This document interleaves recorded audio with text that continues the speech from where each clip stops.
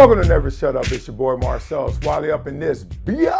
Oh, what's up, man? I had a good night last night. Shout out to Matt Barnes. We broke bread and had a good time hanging with the big homie. I only say big because he's younger than me, but the sucker way bigger than me. Love for you guys. What's bigger than both of us, all of us, is the itty bitties that we got to support. So make sure you go out there to projecttransition.org, log on, hook up the little itty bitties so they could be the best version of themselves. Simple as that. Now, let's use sports and entertainment and all those stories to tell our story. Let's learn it right now, some life lessons. Okay, so Jake Paul is going to fight Mike Tyson. Yes, I found out that news like you guys this weekend. Uh, I found out through our school, the foundation at our school, in our big gala. They were like, would this be an interesting ticket for someone to purchase? I was like, what is it? Jake Paul versus Mike Tyson. I was like, ain't nobody buying that. You want to know why nobody buy that? Because that ain't happening. Ain't no way Jake Paul gonna fight Mike Tyson. Oh, they really are. I saw the helicopter, little video and everything. I was like, woo! Okay, lot to cover here. Um, first thing I was thinking before I let y'all see what they were saying is, we know who Mike Tyson was. so that makes us think we know who Mike Tyson is. All right, he's 55 right now, but point being, golly, he still could throw them hands.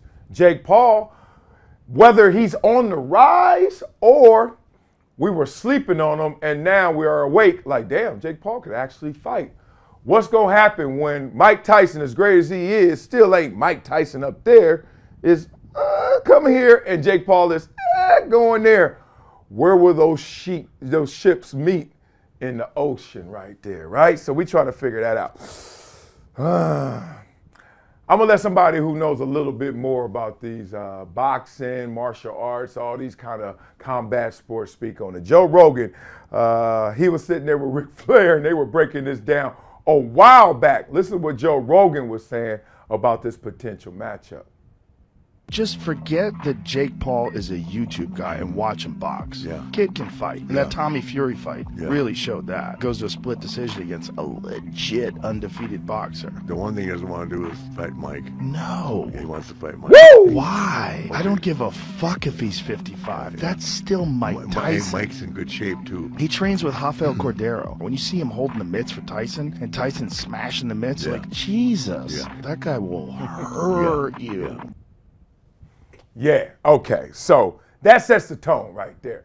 Now, he was talking a lot of what he sees from Mike Tyson in training and a lot of what he sees from Jake Paul in real fights. See the difference right there. We haven't seen Mike Tyson really fight in a long time. Not slighting Mike, but just saying there's a big difference between the mitts and going out there with some real hits and they coming back at you. I'm only saying this because there's some big lessons in here where we got to realize that, dog, when them bullets are live, them bullets are real, it's a whole different animal. So that Jake Paul going against Mike Tyson, what we see, what we think. I ain't there yet. Okay, let's talk about now. Tyreek Hill enters the chat room. Why does Tyreek Hill enter the chat room? Simple as this. Everybody wants some smoke with Jake Paul. Let's listen to this one. How Tyreek got into this convo. Talking about people that want to fight you.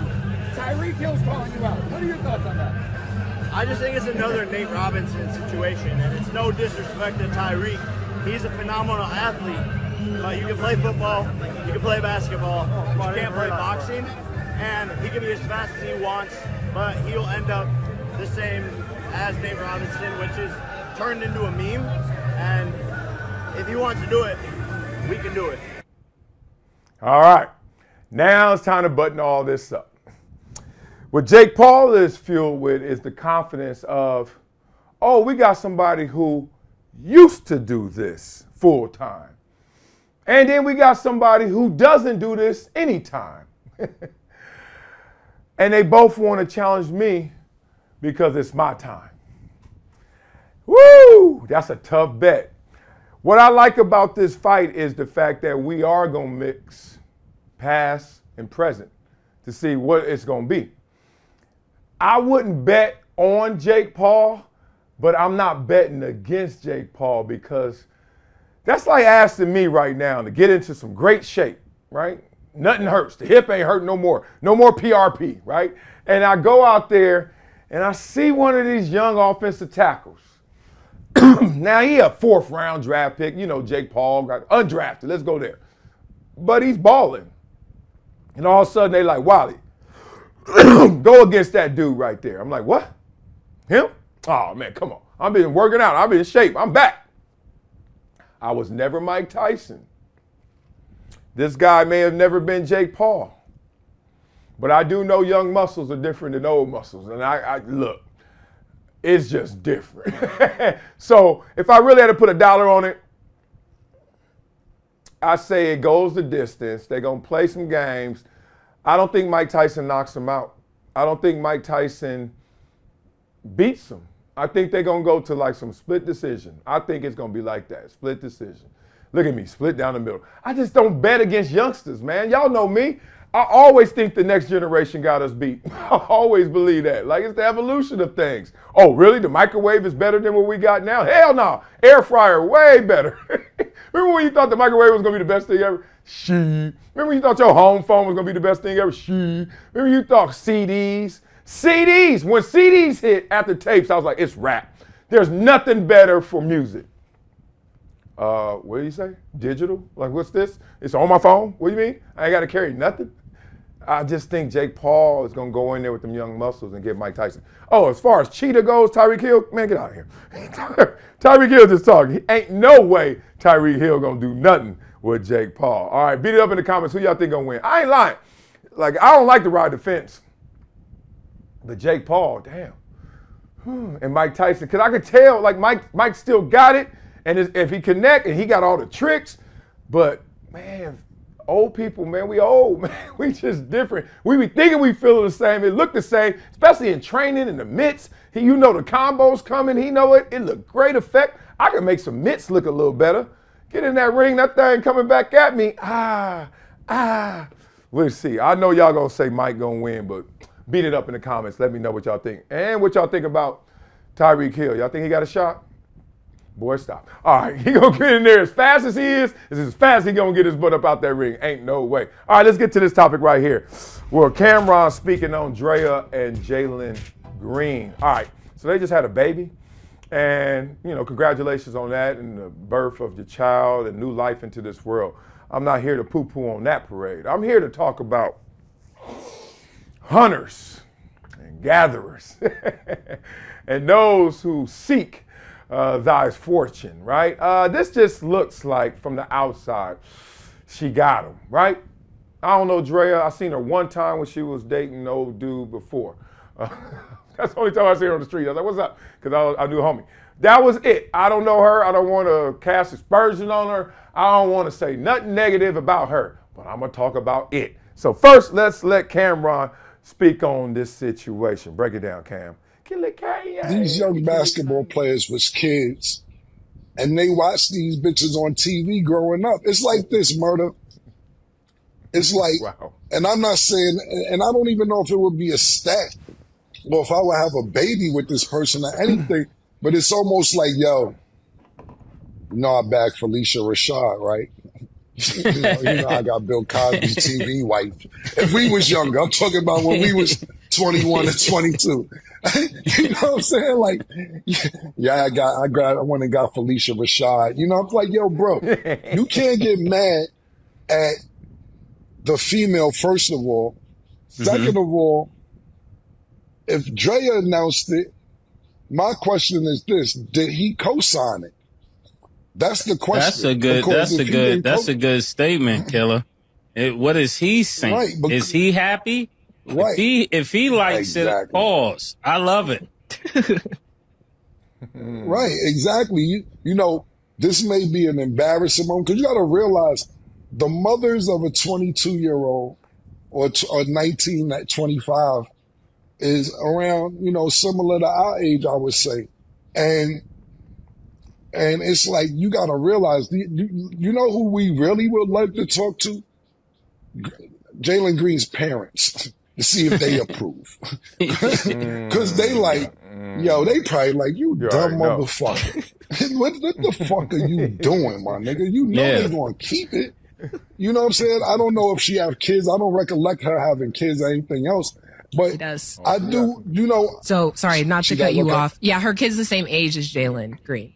Oh, I take I take that back then. I take that back then. Exactly. This is poor shot selection. This is poor shot selection. Killer. Niggas is shooting their shot. This is poor shot selection. Woo! We gotta keep this one real. All right, this is all bad. Like, look. All right, so they, the kid, they're pregnant. They're gonna have a kid, new birth into the world. Beautiful, beautiful, beautiful. Um, I learned this from looking backwards from 49 years young, what I am now, looking backwards. Uh, golly, golly, how many times I stepped in it. Thank God I could wash it off my shoes. Um, the mistakes I almost made, the mistakes I did make. Uh, marriage versus having kids. Marriage, parents. Dog, you know which one is the more of a commitment? You know which one is forever? Being a parent. Even being married ain't forever, as y'all know the stats, as y'all know the divorce rate. Even being in a marriage versus having kids, whole different love, whole different commitment. And that's no slight to marriage and your wife or your husband. It's just, damn it, I'm with you forever. Forever. Not, I know so many people divorced right now don't even talk to their ex-spouse. Ask them how their kids doing. Still riding with their kids. So Jalen Green being 22. She got a kid that's 22. That just says she's been in the game for a long time, right? Because it's one, you had a kid, raised that kid. That's a different father. And then the kid you raised to become a man, you now gonna look in his peer group. You're gonna look at somebody with his same birth certificate year and say, yo, what's up with you? Now, I'm not gonna raise you. I'm gonna play with you. I'm gonna talk to you. And we ain't talking on the same level because I raised this. Like, you imagine you going out there and actually building something up and then letting that go into the world. And instead of saying, okay, now, whew, he gone. Where's my level? Where are my people? You go to that level. You go down there and grab one of them itty bitties and run that old lady game on them. Okay. Why I bring this up? Because uh, when I was coming out of college, I almost got caught like this. Uh, I was in love, I was in like, and my parents were upset, and they was gonna get into it. they hated my ex, hated my ex. I mean, hated. And I think they really hated her for one reason. She was like 27. Still don't know that age. But she was trying to play it off like she was 27, probably older than that. I ain't trying to clown her or nothing like that. That's why I'm trying to keep it vague so y'all can't narrow in on her. Uh, but the point is, she was older and I was younger. And this is when my parents were all in my head. But you know, when you're 19, 20, and they trying to tell you something crazy. And at that time, I wasn't pro bound yet. I wasn't going to the league yet. But it was looking good. It was looking better every day. I was getting them real young muscles. Working out with all my boys back at home. Met her one off season. All of a sudden, I'm just, she got her own apartment, uh, family good. She got her own Jeep, taking me all around, taking me shopping. Parents just looking at me like this. Yeah, all right. My dad kind of was more like, let the boy live. My, my mom was like, I'm about to kill his ass. it's as simple as that. So then I'm, I'm lost in the sauce. And you know, woo, the love too good. I'm like, golly, I got a woman, right? And I remember the day when it all came to a head. My sister all of a sudden joined forces with my mama. So when my sister ain't with me, my mama could be mad at me. I'm like, mama, you just being protective. You just overbearing. When my sister ain't riding with me, that's when I'm like, I don't care who y'all are. When my sister ain't riding with you, we got some problems. That include my wife. we got some problems because my sister don't read them wrong. So I'm like, damn. But I can't let go because it feel too good. And it's too good to me. And I'm going back and forth New York. I'm in school. Like, what up? She ain't bothering me. I don't see her that much. My sister was on my head. And you know what? There was this one day. Oh, I think it was a USC football camp or something. We were working out at USC. And it was some pro dudes there. And I'm still in college, like junior, senior year. And I remember she came to pick me up, and them pro dudes was there. And I ain't saying no names because they the homies. And they was like, oh, what's up? What's up? You know, I, y'all know how them what's ups be sound. He was like, what's up? What's up? When somebody double up, you know it's something wrong. Just like when you say, oh, I love, love, like, you know, something wrong. I was like, then it was like, oh, and you know, you watching the hug, and you watching the hug where the hands hit, they up top, they side, they down low, they slow, they y'all space. And I watched them hugs from the OGs.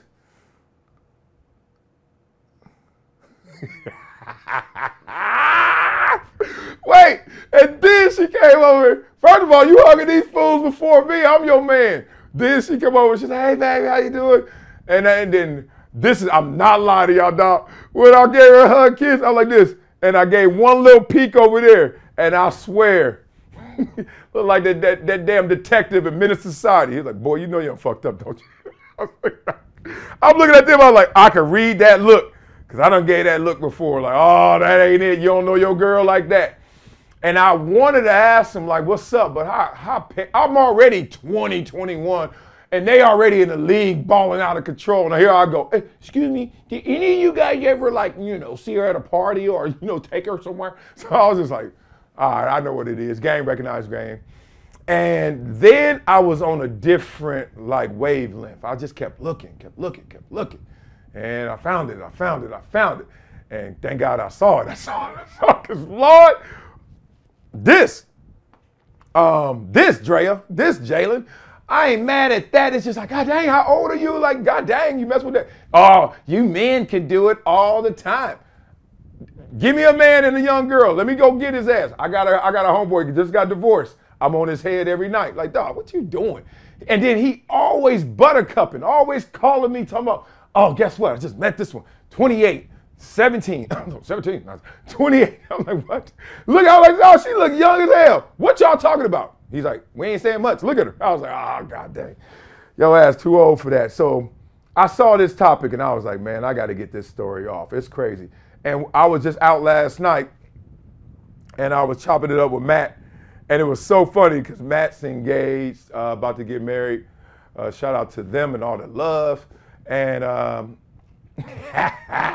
we both know somebody out there. Let, how do I say this? There's somebody out there who used to be active and is still active, more active than ever. Because Matt's younger than me. So Matt was like, yo, so and so. And I was like, yeah, because so and so tried to come get me a while back.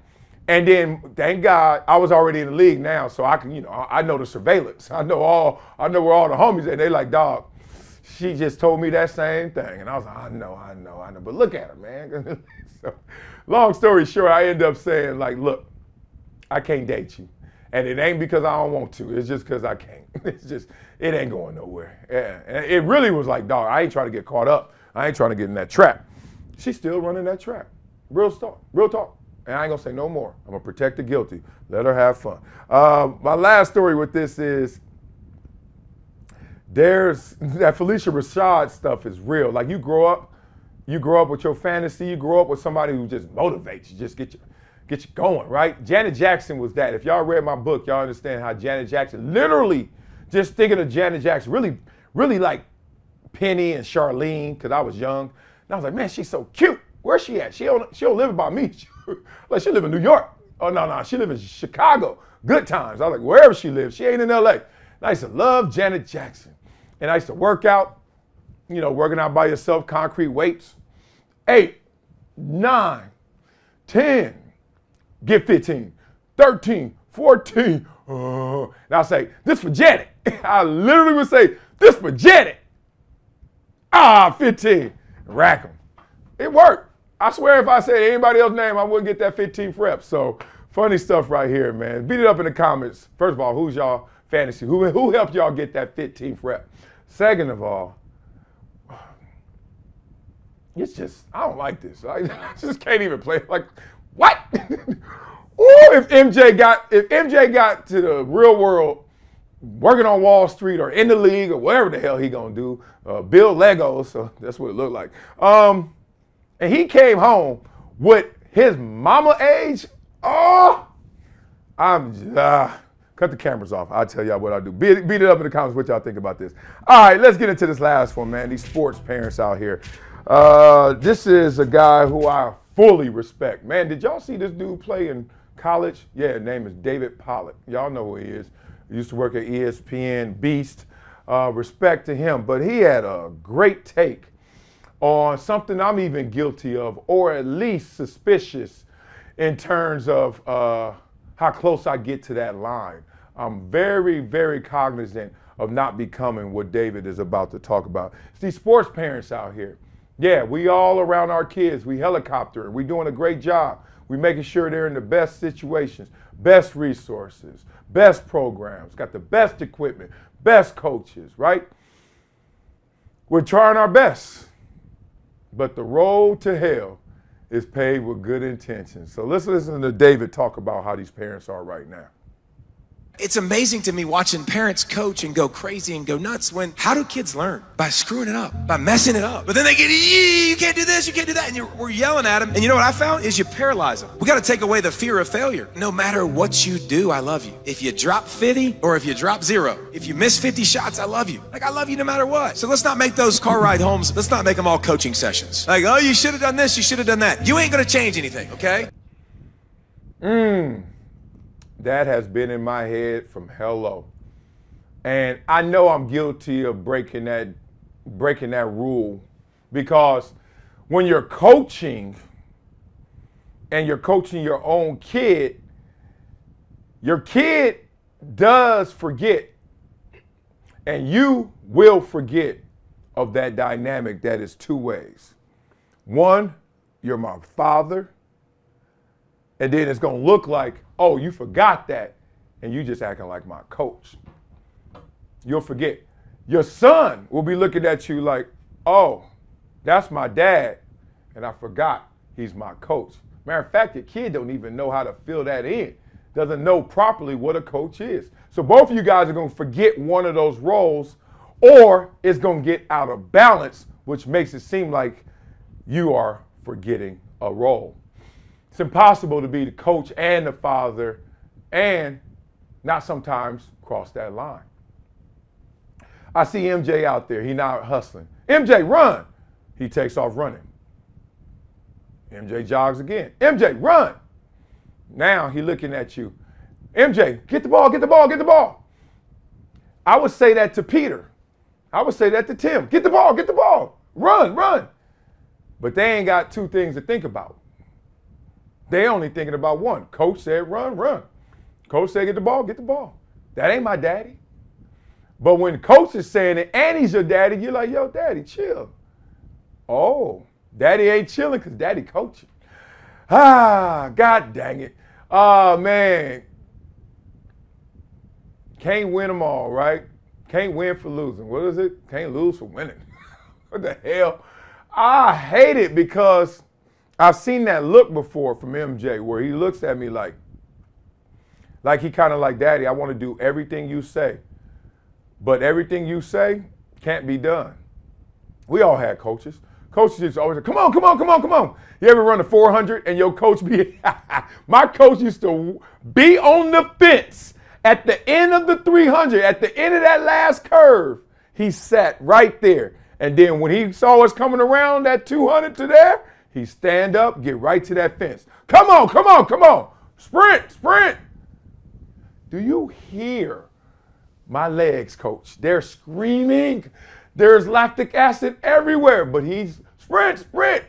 And I remember how many times I dog cursed him in my head and how many times he also motivated me. But I never had to cross that with the fact that that's my dad as well. Mm. Tough, right? Because then, woo, where's that dog cursing stop? You taking it home with you. Um, I am great, if not perfect. And when we get in the car, there will be none of that punishment that comes from not playing hard or practicing hard. All we say is before we turn on our iPad or watch the little TV in the car, hey, how do you think you did today? Good, great. You okay? How you feel? Good, great. Okay. Daddy saw this. What'd you see? Yeah, he was big. Yeah, he fouled a lot. All right. Turn on, turn it on. Let's talk through it later. Let's have fun. I don't have those consequences with them in the car because that would kill them. You defeat the spirit then. That's all of a sudden when you start losing that inner motivation because you're looking outside like, dog, I'm doing this for me ultimately. And we're doing this together. But if you are now taking this beyond the court, beyond the field to every day, every moment of life, too much, Pops. I've seen them. I've seen them come into the league, if they make it to the league, as soon as they get there, ah, finally I can rest. I'm like, nah, you got to work now. like, this is the league. This is the NFL. Todd Marinovich, y'all remember that? You can't rest now. This is the time. And they burnt. They tired, boss. They exhausted. So all you parents out there who got those studs, chill. Like let him, like like David said, let him fall. Let him fail. And just be mindful. Because I know how hard it is. It's hard for me to even say it. When you're coaching, you are still their parent. You you ever seen this look? Pick up the ball. Your son, uh, your son or daughter like this, because they like, yes, coach and daddy. Woo! That little spirit in them that's trying to grow and trying to show. Don't crush it. Don't do it like that. So tell me, man, what y'all think about that? I thought that was an amazing one. He nailed it. And I've seen it. I've seen it. It's in us. Like, you know, I've thought about doing crazy things. It's in you. It just can't come out of you, right? So that's in us. If you're a coach, you're always like, mm, ah, mm. You got to bite your tongue. You got to remember that's the itty bitty out there trying to blossom. Don't step on them. So beat it up in the comments if you're guilty. Beat it up in the comments if you're innocent, but damn it, you got some guilty intentions. uh, or you see cats out there. Give me a couple stories of them fools out there doing it the wrong way. Let's beat it up. All right, y'all. Coming up next, Never Shut Up. We're going to funk up some comments, hit you with a and get up out of here. Next, I'll Never Shut Up. Brinx TV and Reach TV. Brinx. Mm-mm-mm. I love you, MJ.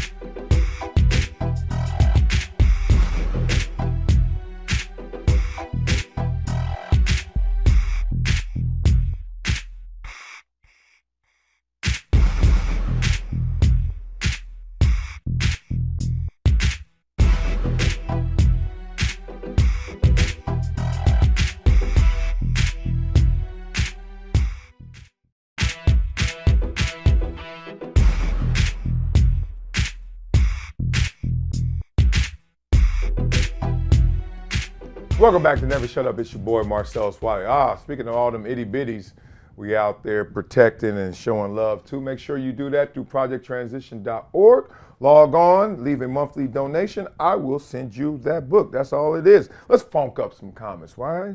Funk up some comments. Yeah. All right. I rock. Remember we were talking yesterday about Floyd Mayweather saying he rocked with his people first, but he messed with the Jewish community as well. Here we go. I rock with my people first and foremost because it's family and my family needs the help. Like if your household doesn't have food, you're not going out and get food and then take it to another house to feed them because they need food too. You're taking care of your people. Got you.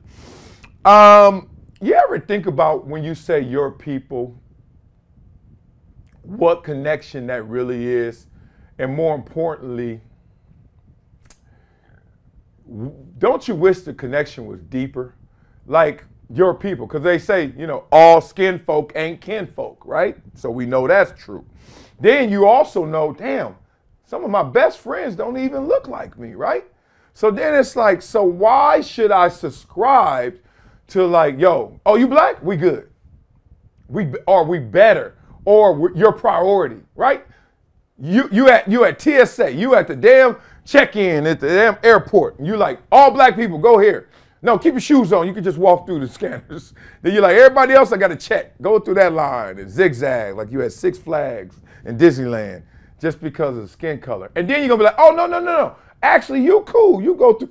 Like, I just think, I just think it's the biggest distraction in the world. This Tower of Babel. It's just people trying to act like, like, oh, we're gonna build up our power. We all collect. And God, like, look, y'all all gonna look different. Y'all all gonna sound different. Y'all all gonna talk different. Figure out how y'all the same. Simple as that. So, I, I, you know, if I had a magic wand, I would say, uh, let's make this like a character connection. And I know it's harder. I know it's tougher to read. You can't walk in a room and just see somebody go. I remember I had this big argument over the black nod. You ever heard of that? Like people be nodding. Like I guess every race has it, but the black people was like, uh, my people like, and they said, yeah, I, I, like it when I'm in, you know, when I'm in Wall Street or something. I don't see many brothers, and I go, I see one, I go, I was like, what does that do for you? He's like, just let me know somebody else here with me, somebody else here know me, or I was like, he from New Hampshire, like he. You from you from Lynwood, he from New Hampshire, but y'all got what in common? What? What? And then you know what's so funny about it? I was clowning. I play devil's advocate sometimes. Sometimes I'll be like, yo, y'all, y'all sound stupid. So I'm like, dog. Then y'all start talking. I'm like, y'all don't even hang. I'm like, y'all went in a knot and we cool, we cool. We, yeah, mm-hmm. Then I was like, you hang with all them. Silliness, man. I swear, some of the tricks of the status quo tricks of society at large to keep things the way that they want to control them by keeping you distracted by the BS. Man, stop walking around here thinking y'all better off because y'all look the same. What? I look at my life, and I tell people this all the time, it, it shocks them. I say, I have never, ever been hurt by a white person. They're like, what? I've never experienced racism. What? I said, well, first of all, fool, I grew up in all black neighborhoods. So guess what? All my fights, black people. all the times I got shot at, black people. Like, I'm just clowning, but I'm serious. Y'all gotta understand, man, it's all good. We just don't want to admit, like, I like you, not I like it. Say it the right way. All right, great subject matter. Oh man, that's a good book right there you wrote right there. I like it. Um, appreciate you. All right, let's get to this one right now.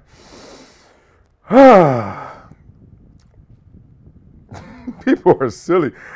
I down to rock with others, but I do rock with my people first. It is important for minority communities to support one another to help build up your community. But I'm not going to support someone in my community just for the sake of supporting someone in my community. Having a huge domestic violence history is a deal breaker and a bad person to represent the people. Floyd, in this case, is not a victim of not receiving proper support by his community and in no place to question it. Okay, you went a couple of different lanes. Um, I think it's an unnecessary step to say I rock with my, my people because we minorities, and then say, but I don't rock with all my people because it's based on who you are. So why don't you make the assessment of who they are first instead of just what they are? I don't know. That's part one. Part two, yeah, uh, Floyd's situation with the domestic violence. I don't know the fullest of it. I don't think none of us do, but we do know what the headlines were. And this is the craziest thing about all the stuff that goes on. Somebody lives a great life, great life, great life. And we know, especially with domestic violence, man, it's three, four, five sides to that story. Like, come on. Um, they together, like, you know what I mean? Whatever it may be. Now, I'm not talking in particular. I'm talking about when that happens. When do you have redemption? Whether we know right or wrong, you did it. Like that's the problem with our prison system, our reform system, is that we never forget what they did but if they paid the cost, if they did the time or whatever, or they got off because, frankly, somebody who read the entire transcript, the entire, uh, uh, uh, all the talk about it, the entire, what do they call that thing? Uh, the entire uh, uh, allegation. They read it all in its entirety, all 137 pages. I love when they do that. They be like, yo, it's 137 pages of transcript you read the headline and you like guilty, innocent, and they have to read 137 pages of it and they say innocent. All right, I'm listening to them. All right, so the point is, I just wonder when do we let go of some things when we don't even know everything about that thing? That part. All right, let's get into this.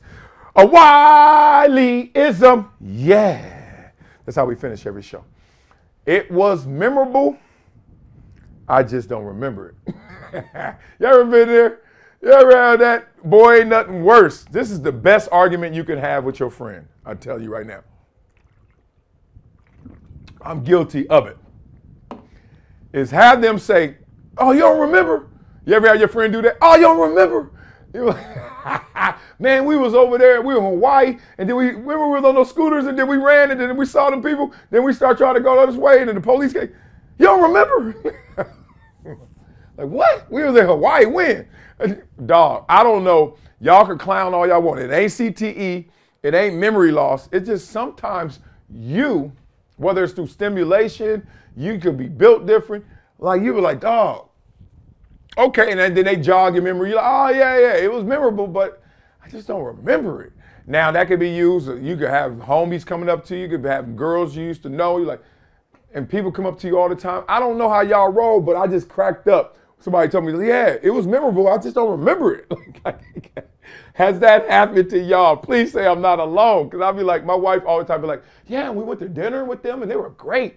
And yeah, and then their cousin goes to our school. I was like, we went to dinner with them.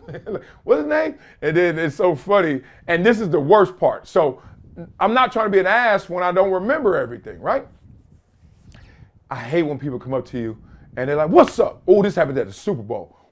This dude came in hot. He had on a Gucci suit. This is why I remember it. See, it was memorable. I just remember. He had on a Gucci suit, and he was like, "What's up, Wiley?" And he gave me that "What's up, Wiley?" like he knew me, not like "What's up, Wiley?" I was like, "What's up, man?" He's like, "Oh yeah, man, it's been good, man. I ain't seen you since blah blah blah." And I was like, "I was like, really? When?" he was like, "Oh, you don't remember?" I was like, "Dog."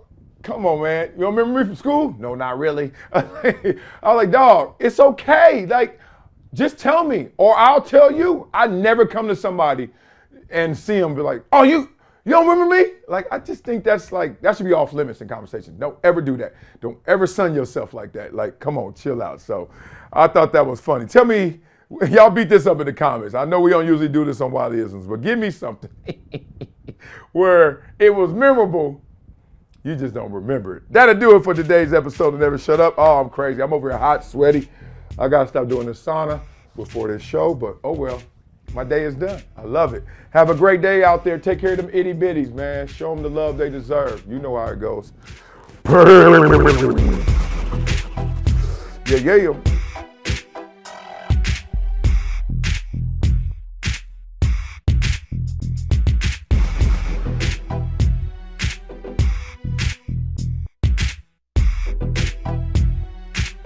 a lot faster. oh, I'm so honored. I'm so inspired to be here and thank Shine Global for this award, uh, to be recognized for doing the right thing, to be recognized for doing good things, and trying to inspire others for their own greatness. Um, I'm just a kid from Compton who, uh, at an early age, had to look inside to find my opportunities because on the outside there were so many whispers and sometimes yells of I couldn't make my dreams a reality. And thought that was very unfortunate, but I was thankful that I never internalized that that chorus that was around me. I was a kid that understood that you had to be greater than your greatest excuse. And I had a lot of excuses. I had a lot of reasons to have self-doubt. But I was able to develop my inner power, discover that inner power, and make sure that I showed the world exactly who I wanted to be. And it was really simple for me. It was to make my dreams a reality. There was nothing more to it. And as I now stand here, just a few miles from where I grew up, where that adversity still is strong, and as we see through these movies, that it's worldwide, not just in our locale. You see the, the suffering, you see the gangs, you see the drugs, you see the poverty. And there's always one common escape. It's that inner power, it's that ambition. It's having a voice that's louder than those surrounding voices. And I'm on a mission, a global mission, to make sure that that inner power inspires all to not only give, but to receive the blessings that come from giving. And I'm up here right now as a guy who's challenging everyone to give their three T's. That's time, that's talent, and that's treasure. Human capital, financial, whatever it may be. Let's invest in each other because we all have to coexist here together.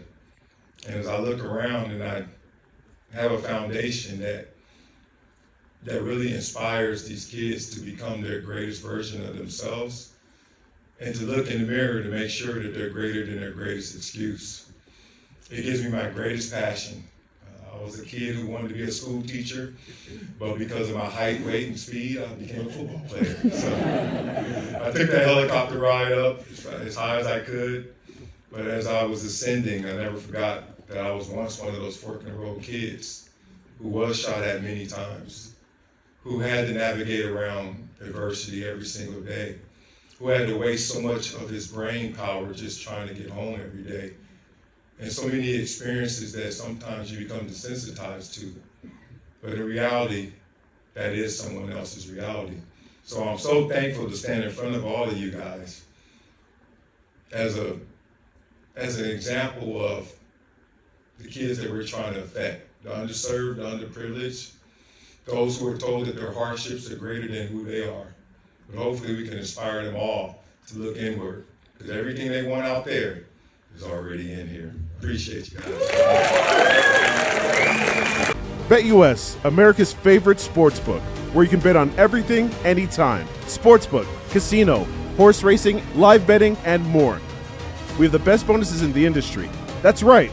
Get a 125% sign up bonus, and to celebrate our 30 year anniversary, we're giving up to 30 risk free bets, a truck, Super Bowl tickets, and more. Don't miss out. Play smart. Join now. BetUS, where the game begins.